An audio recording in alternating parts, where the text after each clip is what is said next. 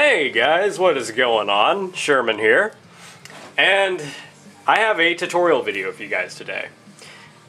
now, I was really kind of hesitant to do one of these kind of videos because there are already so many tutorials on this subject, and that is the paracord lanyards. Uh, today we're going to be talking about specifically the quote-unquote DNA knot style. Now, I don't know if that, if I'm stealing somebody else's idea. I've just been hearing people call it the DNA style lanyard for a long time. But technically it's known as a spiral Sennit knot because, you know, that there's the Cobra Stitch and it's technically called the Sennit um, or the Solomon's bar, whatever you want to call it. You know, it doesn't really matter. Um, but I'm just going to refer to it as the DNA style lanyard. Why? Well, because it looks like a little strand of DNA. So it's pretty cool. But anyway, this has probably been my most requested video of all time. Um, for the past month, every video I've had the same person request the video, and that is XO Billie Joe 4XO. Clearly a Green Day fan. Nothing wrong with that. Old Green Day was actually pretty good. Just saying. Doesn't have anything to do with this video. But, so, uh, you know, thank you for the request, and uh, here's your video. So, it's really not hard to do at all, but it really does look cool. Got black and lime green. Here's one that I used to have on my keys. And here's one that I practiced with back in the day. it's harder to do with two colors. There's a very specific way you have to do it so that it looks more consistent and not so random. Today we're going to be talking about single color because it's just easier and better for the demonstration. So you get your cord, you're going to need a lighter and something to cut your cord with. I'll be using my military. So like I said, it's really easy. It just looks more complicated than it is. But if you can do a Cobra Stitch, then you can do this very easily. But I'm going to go about it as if this is somebody's first time ever doing a paracord project. So, you're going to take one strand of paracord, and you're going to make it kind of long because you can always take off some, but you can never add. Well, you can, but it's not going to look right. So get a fairly long piece. Judge how far you want, or how long you want the piece to be that's going to go around your knife or your keys. Um, this is usually the standard length that I have, so I'm just going to use that as a guide, basically. You want to kind of pinch it and just kind of mark it. Uh, you can take uh, some of those chip clips or or something like that, just to kind of clamp that off, or maybe a paper clip, something like that. Get your uh, your second strand of cord. I'm going to use a kind of a shorter piece here. Just going to take some green. All right, you're going to take your you're going to take your um, your strand that's going to go on your keys or your knife. Your tether strand, I guess you could call it. Drag that down to about where you want it. That's where you're going to start your knot. You're going to want to pinch this, by the way. What I mean by that is take both ends and just find the middle so that you get a you get even sides or even length on either side. Alright, just gonna bring it over like that.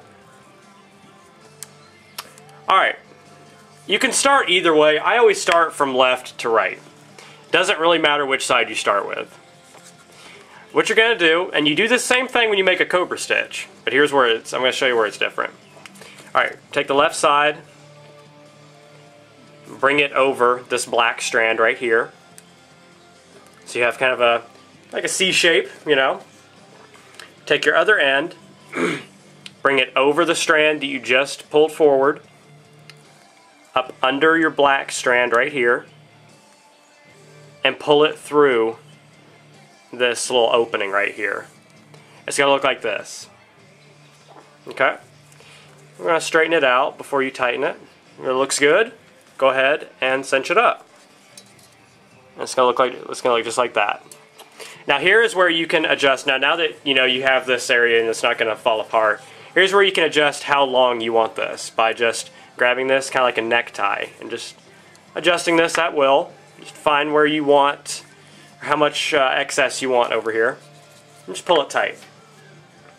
Now, if you are making a cobra stitch like this, the side where you see this knot right here, this little strand, that's where you're going to make your next loop.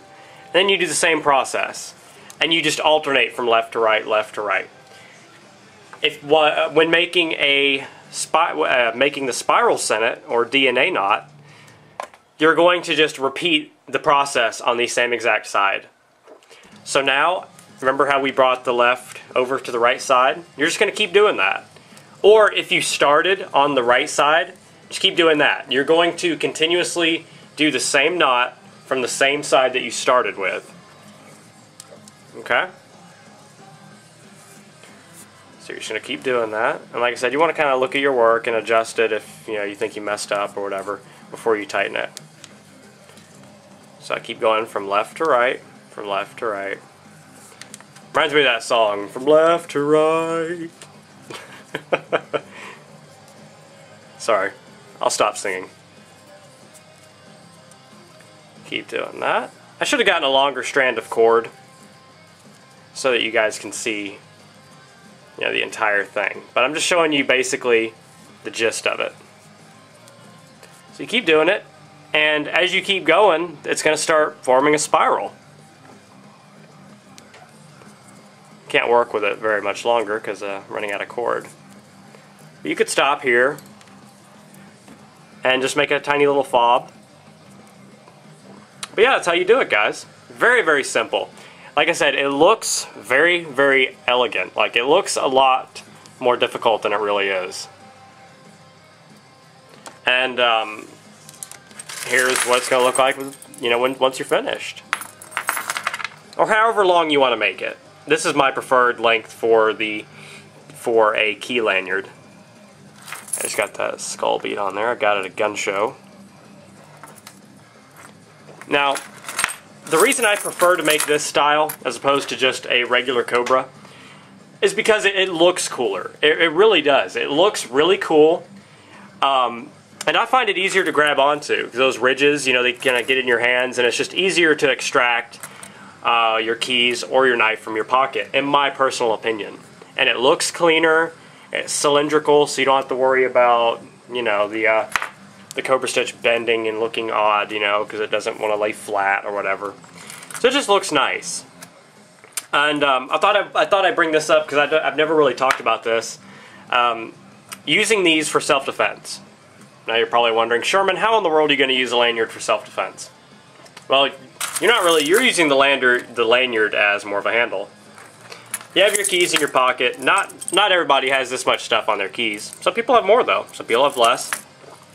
You can use your keys as a improvised, non-lethal, to lethal, depending on how you use it, self-defense tool. Grab your keys out of your pocket, use your uh, by your lanyard. Swing this around like it's a flail. Swing it around, smack somebody in the face or the head with this, the neck, collarbone, or anywhere you wish. And it's going to hurt very badly.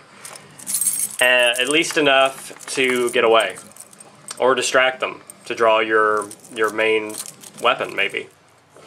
So, many many uses for lanyards. That's just one of them.